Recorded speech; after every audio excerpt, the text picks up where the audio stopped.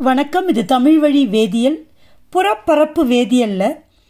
இந்த பாடத்தின் தொடர்ச்சியாக பரப்பு கவர்தலோட வகைகள் மற்றும் இந்த பரப்பு கவர்தலை பாதிக்கக்கூடிய காரணிகள். இதை பற்றி தான் நம்ம இந்த வீடியோவில் பார்க்க போகிறோம் சரியா? முதல்ல பரப்பு கவர்தலின் வகைகள். இப்போ பரப்பு கவர்தலை நம்ம ரெண்டு வகையாக பிரிக்கலாம். சரி எதன் அடிப்படையில் இதை நம்ம ரெண்டு வகையாக பிரிக்கிறோம் அப்படின்னு பார்த்தீங்கன்னா இந்த பரப்பு கவர்தலில் இரண்டு பொருள்கள் ரொம்ப முக்கியமானது இல்லையா? ஒன்று வந்து பரப்பு பொருள். இன்னொன்று வந்து பரப்பு கவர் பொருள்.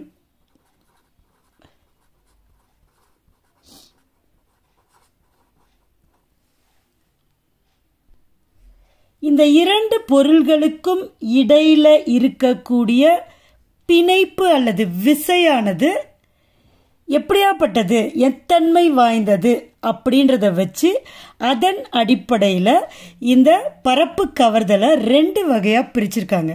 ஒன்று வந்து இயற் புறப்பரப்பு கவர்தல்.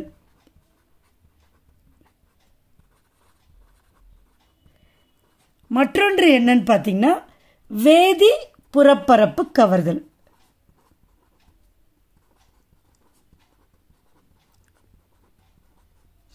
ஸோ ரெண்டு வகையாக நம்ம பிரிக்கிறோம். அப்போ இந்த பெயரில் தெரிஞ்சிருது எதன் அடிப்படையிலன்ட்டு. அப்போ இந்த பரப்பு பொருளுக்கும் அதன் மீது கவரப்படும் பரப்பு கவர் பொருளுக்கும் இடையே உள்ள விசை. சரியா? ஒரு சாதாரண வாண்டர்வால்ஸ் விசையாகவோ வாண்டர் வால்ஸ் விசையாகவோ அல்லது இருமுனை இருமுனை இருமுனை இருமுனை இடையீட்டு விசையாகவோ அல்லது சிதைவு விசைகளாகவோ பாருங்க நான் எழுதுகிற எல்லாமே ரொம்ப வலிமை குறைந்த விசைகள். விசைகளாகவோ இருந்துச்சுன்னா அந்த புறப்பரப்பு கவர்தலை நம்ம இயற் புறப்பரப்பு கவர்தல்னு சொல்லுவோம் பிகாஸ் இது எல்லாமே வலிமை குறை குறைந்த விசைகள். அப்போ இந்த இயற் புறப்பரப்பு கவர்தல் ஒரு வலிமை குறைவான பரப்பு கவர்தலாக நம்ம எடுத்துக்கிறோம். அதனால தான் இங்கே பரப்பு கவர்தல் வெப்பம் கூட குறைவாக தான் இருக்கும். பரப்பு கவர்தல். ஏன்னா எப்போவுமே பரப்பு கவர்தல் நிகழறப்ப அங்கே பரப்பு கவர்தல் வெப்பம் இருக்கும் இல்லையா? இந்த வெப்பம் வந்து பார்த்திங்கன்னா இங்கே குறைவாக இருக்கும். சரியா? ஸோ அதனால் இது குறைந்த வெப்பநிலையில் தான் நடக்கும். அதிகமான வெப்பநிலையில் இந்த பரப்பு கவர்தல் வந்து நடைபெறுவதற்கு ரொம்ப கடினமாக தான் இருக்கும். சரியா? வெப்பம் அதிகமாக அதிகமாக இயற்புறப்பு கர பரப்பு கவர்தலானது குறைந்து விடும் ஸோ இதெல்லாம் தான் வந்து இயற்புறப்பரப்பு கவர்தலை பற்றி இப்போ எடுத்துக்காட்டாக என்ன சொல்லலாம்னா மைக்கா மீது மைக்கா மீது என் டூ வாயு பரப்பு கவர்தல் அல்லது கரியின் மீது அமோனியா பரப்பு கவரப்படுதல். ஸோ இதெல்லாமே வந்துட்டு இயற் புறப்பரப்பு கவர்தல். சரியா? இப்போது வேதி புறப்பரப்பு கவர்தல். இப்போ நான் வேறுபாடு பற்றிலாம் சொல்லலை. நான் இதெல்லாமே சொல்லி முடித்த பிறகு உங்களுக்கே வந்து வேறுபாடு என்ன அப்படிங்கிறது தெரிய வந்துடும் ஸோ வேதி புறப்பரப்பு கவர்தல் அப்படின்னா இது வலிமை குறைவுன்னொன்னே உங்களுக்கு தெரியும். இது ஒரு வலிமை மிக்க பரப்பு கவர்தலாக இருக்கும். அப்போ வலிமை மிக்கதாக இருக்கணும்னா அங்கே கண்டிப்பாக ஒரு பிணைப்பு அதாவது வேதி பிணைப்புகள் வருது. அப்போ என்னன்னா இந்த பரப்பு பொருளுக்கும் பரப்பு கவர் பொருளுக்கும் இடையில் என்ன இருக்கு? வேதி பிணைப்பு இருக்கும். இந்த வேதி பிணைப்பு வலுவான வேதி பிணைப்பாக இருக்கும். அப்போ இங்கே பரப்பு கவர்தல் நடக்கிறப்ப எவ்வளோ நிறைய ஆற்றல் வந்து வெப்பமாக வெளிப்படும். கிட்டத்தட்ட நானூறு கிலோ ஜூல் பர் மோல் ஆற்றல் வந்து வெப்பமாக உமிழப்படுதுன்னு ப கண்டுபிடிச்சிருக்கிறாங்க. சரியா? ஸோ வலிமை மிக்கது வலுவான வேதி பிணைப்புகளால் அந்த அந்த பரப்பு கவர்தல் இருக்குது அங்கே ஏறத்தாழ நானூறு கிலோ ஜூல் பர் மோல் ஆற்றல் வெப்பமாக வெளிவிடப்படுது. இப்போ பார்த்தீங்கன்னா உலோகங்களின் மீது வாயுக்கள் ப- பரப்பு கவரப்படுதல் எல்லாமே இந்த வேதி புறப்பரப்பு கவர்தல்களுக்கு எடுத்துக்காட்டு. இப்போ ஃபார் எக்ஸாம்பிள் ஓட்டு வந்து நிக்கல் மேலே இல்லை ஓட்டு வந்து டங்ஸ்டன் மேலே இல்லை ஹைட்ரஜன் வந்து நிக்கல் மேலே. ஸோ இந்த மாதிரி உலோகங்கள் மீது வாயுக்கள் பரப்பு கவரப்படுதல் வந்து இந்த வேதி பர வேதிப்புற பரப்பு கவர்தலுக்கு எடுத்துக்காட்டாக இருக்கு. சரியா? இப்போ அடுத்தபடியாக பரப்பு கவர்தலை பாதிக்கும் காரணிகள். இதை தான் நம்ம பார்க்க போகிறோம் நான்கு காரணிகள் இருக்கு. இந்த நான்கு காரணிகளும் பரப்பு கவர்தலை வெகுவாக பாதிக்கும். ஸோ அதில் முதல் காரணி யாருன்னு பார்த்தீங்கன்னா பரப்பு பொருளின் தன்மை. பரப்பு பொருள்னா என்னது? எந்த பொருள் மேலே பரப்பு கவர்தல் நிகழுதோ அதுதான் பரப்பு பொருளின் பரப்பு பொருள். இங்கே பரப்பு பொருளின் தன்மை அப்படின்னு எதை சொல்கிறாங்கன்னா இப்போ ஒரு திண்ம பொருள் இருக்குன்னு வச்சுப்போமே. இப்போ இந்த திண்ம பொருள் மோ மேலே ஒரு வாயு வந்து பரப்பு கவரப்பட போகுது. அப்போ இந்த திண்ம பொருளோட ஏரியா அதாவது பரப்பு அதிகமாக இருந்துச்சுன்னா கவரப்படுற பொருளும் அதிகமாக கவரப்படும். சரியா? இப்போ பரப்பு குறைவாக இருந்தால் பரப்பு கவரப்படும் பொருளோட அளவும் குறைவாக இருக்கும். அதனால் முதல் பாயிண்ட் என்னென்னா பரப்பு பொருளின் தன்மை. இப்போ ஒரு இப்போ கறியே இருக்குதுன்னு வச்சுப்போமே கறி பல்காக இருக்குது இப்போ இந்த கறியை வந்து மொத்தமாக வச்சுருக்கோம். அப்போ அது மேலே இருக்க பரப்பு வந்து கம்மியாக இருக்கும். அதே கறியை நம்ம பீஸ் பீஸாக ஆக்குறோம். பீஸ் பீஸாக ஆக்குறப்ப ஒரு ஒரு துண்டோட அந்த கறி துண்டோட பரப்பும் அதிகமாக இருக்கும். நம்ம துண்டு துண்டாக ஆக்கிறதுனால. அப்போ வந்து ஒரு வாயு போய் பரப்பு கவரப்படுதுன்னா நிறைய வாயு வந்து பரப்பு கவரப்படும். சரியா? ரைட்டு அப்போ அதுதான் பரப்பு பொருளின் தன்மை. ரெண்டாவது வந்து என்னன்னு பார்த்தீங்கன்னா பரப்பு கவர் பொருளின் தன்மை. பரப்பு கவர் பொருள். இப்போ பரப்பு கவர் பொருள்னா யார்? எந்த பொருளெல்லாம் பரப்பு கவரப்படுகிறதோ அதெல்லாம் பரப்பு கவர் பொருள். ஒரு பரப்பு பொருள் மேலே எது வந்து பரப்பு கவரப்படுகிறதோ அது பரப்பு கவர் பொருள்னு நம்ம சொல்கிறோம் இல்லையா? இப்போ வந்து அப்படி பார்த்தீங்கன்னா வாயுக்கள் எல்லாத்தையுமே நம்ம சொல்லலாம். இப்போ இந்த வாயுக்கள்னு சொல்கிறப்ப இந்த வாயுக்களை நம்ம ரெண்டு வகையாக பிரிக்கலாம் சரியா? ஒன்று வந்து எப்படின்னா ஹைட்ர ஹைட்ரஜன் ஆக்சிஜன் நைட்ரஜன் சரியா? இந்த மாதிரி வாயுக்கள் ஒரு கேட்டகரி. ஹைட்ரோக்ளோரிக் இதோட வா- இந்த வாயு ammonia carbon dioxide sulphur dioxide இந்த மாதிரி வாயுக்களை ஒரு விதமாக பிரிக்கலாம். ரெண்டுமே வாயுக்கள் இதுவும் இது எல்லாமே வாயு நிலையில தான் இருக்குது இதுவும் வாயு தான். ஆனால் இது எல்லாத்தையுமே நம்ம நிரந்தர வாயுக்கள்னு சொல்கிறோம் ஏன் இது நிரந்தர வாயு? அது நிரந்தர வாயு இல்லையா அப்படின்னா இந்த வாயுக்களை நம்மால் கொஞ்சம் எளிதாக இதை நீர்மமாக ஆக்க முடியும். சரியா? ஆனால் இந்த வாயுக்களை நீர்மமாக்குவது ரொம்ப ரொம்ப கஷ்டம். காரணம் என்னன்னா ஒரு குறிப்பிட்ட வெப்பநிலையில் இந்த வாயுக்கள் நீர்மமாக மாறக்கூடிய தன்மை உண்டு. அந்த வெப்பநிலையை நம்ம என்ன சொல்வோம்னா நிலை மாறு வெப்பநிலைன்னு சொல்லுவோம் அப்போ நிலை மாறு வெப்பநிலைனா எந்த வெப்பநிலையில் ஒரு வாயுவானது நீர்மமாக மாறுதோ அது நிலை மாறு வெப்பநிலை இப்போது நைட்ரஜன் இருக்குது நைட்ரஜனை நம்ம நீர்மமாக வேணும். அப்போனா பாருங்களேன் நைட்ரஜன் வாயு. அப்போ நைட்ரஜன் வாயுவை நம்ம ஈஸியாக நீர்மமாக ஆக்கிட முடியுமா? நம்ம என்ன பண்ணணும் அதுக்கு? நிறைய அழுத்தத்தையும் ரொம்ப குறைஞ்ச வெப்பநிலையும் கொடுத்தாதான் இந்த வாயுக்கள்லாம் என்னவாகும்? நீர்மமாக ஆகும். ஆனால் இந்த வாயுக்களுக்கு வந்து அது ரொம்ப ரொம்ப கஷ்டன்றதுனால தான் அது என்னன்னு சொல்கிறாங்க நிரந்தர வாயுக்கள்னு சொல்கிறாங்க அப்போ இந்த நிலைமாறு வெப்பநிலை இருக்குல்ல இது வந்து இதுக்கு ரொம்ப குறைவாக இருக்குது சரியா? இதுக்கு வந்து அதிகமாக இருக்குது அப்போ வெப்பம் குறைய குறைய வெப்பநிலை குறைய குறைய அது அடைவது லோ டெம்பரேச்சர் இல்லையா? மைனஸில் போயிட்டுருக்கும். அதை அடையிறது கொஞ்சம் கஷ்டமாக இருக்கும். இது வந்து கொஞ்சம் அதிகமாக இருக்குது ஸோ இந்த மாதிரி நிலைமாறு வெப்பநிலை அதிகமாக இருக்கக்கூடிய எளிதில் நீர்மமாக மாறக்கூடிய வாயுக்கள் இந்த பரப்பு கவர்தலில் எளிமையாக நடக்கும். புரியுதா? இந்த வாயுக்கள் எல்லாம் எளிதாக பரப்பு கவர்தலில் ஈடுபடும். ஆனால் இந்த நிலைமாறு வெப்பநிலை குறைவாக இருக்கக்கூடிய இந்த நிரந்தர வாயுக்களான ஹைட்ரஜன் ஆக்சிஜன் நைட்ரஜன் இது எல்லாமே பரப்பு கவர்தலில். அந்த அளவுக்கு வேகமாக கவரப்படாது. மிக மிக மெதுவாக தான் பரப்பு கவர்தலில் ஈடுபடும். புரியுதா? ஸோ பரப்பு கவர் பொருளோட தன்மையை பொறுத்து யார் விரவுதல்ல அதாவது பரப்பு கவர்தல்ல நல்லா கவர முடியும் குறைவாக கவர முடியும்னு சொல்லலாம். ஸோ இந்த கொஷின் இது இந்த பாயிண்ட்டை பேஸ் பண்ணி நமக்கு டூ மார்க் வரலாம். எப்படி வரலாம்? ரெண்டு வாயுவை கொடுத்துடலாம். இப்போ ஹைட்ரோக்ளோரிக் அமிலம் நைட்ரஜன் இப்போ கரியின் மீது ஹைட்ரோக்ளோரிக் அமிலம் மிக விரைவாக பரப்பு கவரப்படுகிறது. ஆனால் நைட்ரஜன் பர அவ்வாறு கவரப்படுவதில்லை. காரணம் என்ன? இதோ இதுதான் காரணம். சரியா? இல்லை இதுலேயே ரெண்டு பேரை இப்போது அமோனியாவும் இதில் ஒரு புக் பேக் கொஷின் அதான் நினைக்கிறேன். நீங்கள் பார்த்தீங்கன்னா தெரியும் அமோனியாவையும் கார்பன் டை ஆக்சைடையும் கம்பேர் பண்ணியிருப்பாங்க.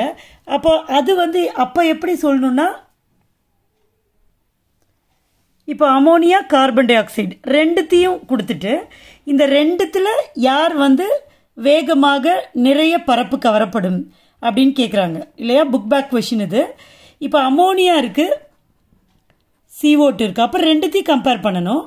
அப்போ ரெண்டுத்தோட நிலைமாறு வெப்பநிலையை கம்பேர் பண்ணுறப்ப அந்த நிலைமாறு கிரிட்டிக்கல் டெம்பரேச்சர்னு இங்கிலீஷில் சொல்லுவோம் டிசி இதுக்கு தான் அமோனியாவுக்கு தான் அதிகம் then carbon dioxide so இது ஒரு பாயிண்ட்டு ரெண்டாவது இந்த அமோனியாவில் தான் இந்த ஹைட்ரஜனுக்கும் இன்னொரு ஒரு ஒரு அமோனியாவுக்கும் நடுவில் ஹைட்ரஜன் பிணைப்புகள் இருக்குது செகண்ட் பாயிண்ட்டு தேர்ட் பாயிண்ட் பார்த்தோம்னா இந்த வாண்டர்வால்ஸ் ஃபோர்ஸ் வந்து வாண்டர்வால்ஸ் அந்த அந்த வாண்டர்வால்ஸோட அந்த கவர்ச்சி விசை அமோனியாவில் தான் அதிகமாக இருக்குது ஆனால் கார்பன் டை ஆக்சைடில் பார்த்தீங்கன்னா இந்த இருமுனை இருமுனை இடையீடு வலிவு குறைந்த இருமுனை இருமுனை இடையீடுகள் தான் இந்த கார்பன் டை ஆக்சைடில் இருக்கிறதுனால கார்பன் டை ஆக்சைடை விட அமோனியா தான் அதிகமாக பரப்பு கவரப்படும். புரியுதா? ஸோ இதை வந்து ஒரு புக் பேக் கொஷினில் கேட்டிருக்காங்க. ஸோ இதெல்லாம் தான் ஆன்சர் ஸோ நெக்ஸ்ட்டு வந்து நம்ம தேர்ட் பாயிண்ட் என்னன்னு பார்த்துடலாம். மூன்றாவது பாதிக்கும் காரணி அப்படின்னு பார்த்தீங்கன்னா அழுத்தம். இப்போ இந்த அழுத்தம்னு வர்றப்ப நம்ம ரெண்டு பேரை கம்பேர் பண்ணணும். யார் ரெண்டு பேருன்னா இந்த இயற் புறப்பரப்பு கவர்தல். இயற் புறப்பரப்பு கவர்தலையும் வேதி புறப்பரப்பு கவர்தலையும் நம்ம கம்பேர் பண்ணி ஆகணும். இப்போ அழுத்தம் அதிகமாக அதிகமாக இந்த இயற் புறப்பரப்பு கவர்தல் ஃபுல்லாக குறைஞ்சிரும். அழுத்தம் அதிகமாக அதிகமாக இது அழுத்தம். சரியா? இயர் புறப்பரப்பு கவர்தல் என்ன ஆகிடும் குறைஞ்சிரும். இங்கே வேதி புறப்பரப்பு கவர்தலில் பார்த்தீங்கன்னா சாரி இது வந்து அழுத்தம்க்குள்ள நான் சொன்னது வந்து வெப்பநிலைக்கு. அடுத்தது நம்ம எதை பார்க்க போகிறோம் வெப்பநிலையை பார்க்க போகிறோம் அப்போ வெப்பநிலை அதிகரிக்க அதிகரிக்க. சரியா? மூன்றாவது ஃபேக்டர் வந்து மூன்றாவது காரணி என்னன்னு பார்த்தீங்கன்னா வெப்பம் வெப்பநிலை. அதுவும் ஒரு குறிப்பிட்ட வெப்பநிலையில் அந்த செறிவை பொறுத்ததுன்னு கூட சொல்லலாம். இப்போ வெப்பநிலையை அதிகமாக்க அதிகமாக்க இந்த இயர் புறப்பரப்பு கவர்தல் என்னாகும்? குறைஞ்சிரும்னு சொல்லலாம். சரியா? ஆனால் வேதி புறப்பரப்பு கவர்தல் பார்த்திங்கன்னா வெப்பநிலையை அதிகமாக்க அதிகமாக்க இது வந்து வெப்பநிலை அதிகமானோன்னே இதுவும் அதிகமாகும். இந்த இந்த வேதி புறப்பரப்பு கவர்தல் வந்து அதிகமாகும் ஃபஸ்ட்டு அதுக்கப்புறம் கொஞ்ச நேரம் கழித்து பார்த்திங்கன்னா குறைஞ்சிரும். அப்போ அதுவே ஒரு கேள்வி நமக்கு.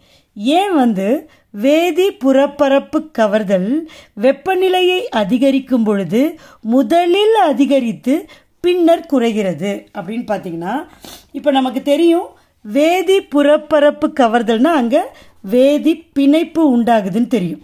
இல்லையா? வேதி பிணைப்பு உண்டாகும். இப்போ எப்பவுமே வேதி பிணைப்பு உண்டாகும்னா அங்கே கொஞ்சம் ஆற்றல் தேவைப்படும். என கிளர்வுறு ஆற்றல் இருந்தால் தான் வேதி பிணைப்பு அந்த கிளர்வுறு ஆற்றல் அளவுக்கு இந்த மூலக்கூறுகளுக்கு அதாவது பரப்பு கவரப்படும் மூலக்கூறுகளுக்கு கொஞ்சம் ஆற்றல் இருந்தால் தான் அந்த வேதிப்பிணைப்பை உண்டாக்க முடியும். இன்னொன்று அந்த கிளர்வுரு ஆற்றலை கிராஸ் பண்ண முடியும். அப்போ அந்த ஆற்றல் அதுக்கு எங்கேருந்து கிடைக்கும்? நம்ம இப்போ இந்த மாதிரி சூழ்நிலையில் நம்ம வெப்பப்படுத்துகிறோம் அப்போ வெப்பத்தின் இந்த வெப்ப ஆற்றலின் ஒரு பகுதியானது என்ன ஆகணும்னா இந்த வேதிப்பிணைப்பை உண்டாக்குறதுக்கு ஃபஸ்ட்டு பயன்படுது. அப்போ என்ன ஆகுது அங்கே இருக்க மூலக்கூறுகள் இந்த நம்ம கொடுக்குற வெப்ப ஆற்றலை பயன்படுத்திக்கிட்டு கட கட கடன்னு பரப்பு கவரப்படுது. அதனால் முதல்ல கொஞ்சம் நம்ம வெப்பப்படுத்தின உடனே இந்த வேதி புறப்பரப்பு கவர்தல் கவர்தல் வந்து கொஞ்சம் வேகமாக நடக்குது. அதனால் இன்க்ரீஸ் ஆகுது. வெப்பமாக அதிகமாகுது. அப்புறம் ஆல்மோஸ்ட் எல்லாமே வந்துட்டு என்ன ஆகிடும் பரப்பு கவரப்பட்டுரும். நம்ம மேலேயும் நம்ம இப்போ வந்து வெப்பநிலையை அதிகமாக்குறப்ப என்னாகும்? அங்கே பரப்பு கவரை போட்ட பொருள்கள் எல்லாமே அந்த பரப்பை விட்டு நீங்கிவிடும். அப்போ பரப்பு கவர்தல் என்ன ஆகிடும் குறைஞ்சிரும். சரியா? அப்போ அங்கே வந்து என்னது? பரப்பு நீக்கம் நிகழும். எப்போ? ரொம்ப அதிகமான வெப்பநிலையில் இந்த பரப்பு கவரப்பட்ட பொருட்கள் பரப்பு நீக்கம் நடைபெறதுனால அங்கே வேதி புற பரப்பு கவர்தல் குறையும். புரியுதா? இதுவுமே ஒரு தனி தனிப்பட்ட கேள்வியாக கேட்கலாம். என்ன எப்படி கேட்கலாம்? ஒரு வெப்பநிலையை அதிகரிக்கும் போது வேதி புறப்பரப்பு கவர்தல் முதலில் அதிகரித்து பின்னர் ஏன் குறைகிறது? காரணம் என்னது? முதல்ல பரப்பு கவர்தல் நடக்கணும். என்ன பரப்பு கவர்தல்? வேதி புறப்பரப்பு கவர்தல் நடக்கணும். அப்போது அந்த மூலக்கூறுகள் அந்த பரப்பின் மீது கவரப்படுவதற்கு ஒரு வேதி பிணைப்பை உண்டாக்க போகுது இல்லையா? அப்போ வேதி பிணைப்பை உண்டாக்கணும்னா அதுக்கு கொஞ்சம் ஆற்றல் தேவைப்படுது. அப்போ அந்த ஆற்றலை அது எங்கேருந்து எடுத்துக்குது? இந்த வெப்பநிலையை நம்ம அதிகரிக்கிறப்ப அந்த வெப்ப ஆற்றலை எடுத்துது. அப்போ அதுக்கு வெப்ப ஆற்றல் கிடைக்கிறதுனால அங்கே கடகடன்னு ப அந்த பரப்பு கவர்தல் நடக்குது. அதனால் முதல்ல பரப்பு கவர்தல் அதிகமாகுது. அப்புறம் பரப்பு கவர்தல் முடிஞ்ச உடனே கொஞ்ச நேரம் கழித்து நம்ம இன்னுமே வெப்பநிலையை அதிகரிச்சுக்கிட்டே இருக்கோம். அப்போ கவரப்பட்ட பொருட்கள் அந்த பரப்பை விட்டு நீங்குகின்றன. அங்கு பரப்பு நீக்கம் நிகழ்கிறது. புரியுதா? அதனால் பர பரப்பு நீக்கம் நிகழ்துன்னா கவரப்பட்ட பொருள் எடைய வந்துச்சுன்னு அர்த்தம். அப்போது பரப்பு கவர்தல் குறைஞ்சி போயிடுது இல்லையா?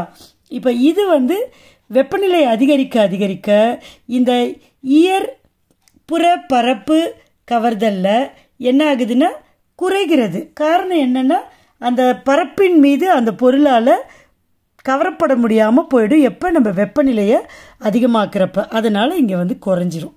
சரியா? அடுத்தது கடைசி காரணி அழுத்தம். அழுத்தத்தின் விளைவு.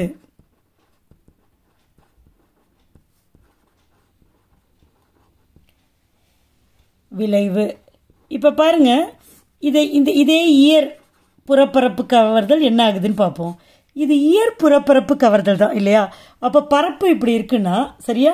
இது மேலே அந்த பொருள் வந்து கவருது. இப்போ நம்ம அழுத்தத்தை அதிகமாக்குறோம். அப்போ அழுத்தத்தை அதிகமாக்குறப்ப என்ன ஆகுது? அந்த கவரப்படும் பொருள்கள் இன்னும் கொஞ்சம் பலவந்தமாக போய் அந்த பரப்பின் மீது கவரப்படுற மாதிரி ஒரு சூழ்நிலை உருவாயிடும். அப்போ அழுத்தத்தை அதிகரிக்கும் போது இயர் புறப்பரப்பு கவர்தலும் அதிகமாக தான் ஆகும். புரியுதா? இப்போ வாயு இங்கே இருக்குன்னு வச்சுப்போம். வாயு இருக்குது இந்த இந்த பரப்பின் மீது கவரப்பட போது நம்ம அழுத்தத்தை அதிகமாக்குறோம். அப்போ இன்னும் நெருக்கமாகும். இன்னும் அந்த பரப்பை போய் கிட்ட போகும் தொடும். அப்போ பரப்பு கவர்தல் அதிகமாகிறதுக்கு வாய்ப்புண்டு. ஆனால் இந்த வேதி பிணைப்பில் அந்த மாதிரி வேதி புறப்பரப்பு கவர்தலில் அந்த மாதிரி ஒரு சூழ்நிலை இல்லை. வேணா என்ன பண்ணும்? நம்ம அழுத்தம் அதிகரிக்கிறப்ப கொஞ்சம் ஸ்லோவாக நடக்கிற புறப்பரப்பு கவர்தல் கொஞ்சம் ஸ்பீடாக வேணால் நடக்கலாம். அந்த வேகம் வேணால் மாறலாம். ஆனால் எவ்வளவு பரப்பு கவரப்படணுமோ எவ்வளவு பொருள் பரப்பு கவரப்படணுமோ அதில் வந்து ஒரு மாற்றமும் இருக்காது. ஸோ இதுதான் வந்து இந்த புறப்பரப்பு கவர்தலின் மீது அழுத்தத்தின் விளைவு. அப்போது புறப்பரப்பு கவர்தலை நான்கு காரணிகள் பாதிக்குது. ஒன்று வந்து பரப்பு பொருளின் தன்மை இரண்டாவது பரப்பு கவர் பொருளின் தன்மை மூன்றாவது வெப்பநிலை அதாவது வெப்பநிலையில் குறிப்பிட்ட வெப்பநிலையில் செறிவு நான்காவது அழுத்தத்தின் விளைவு. சரியா?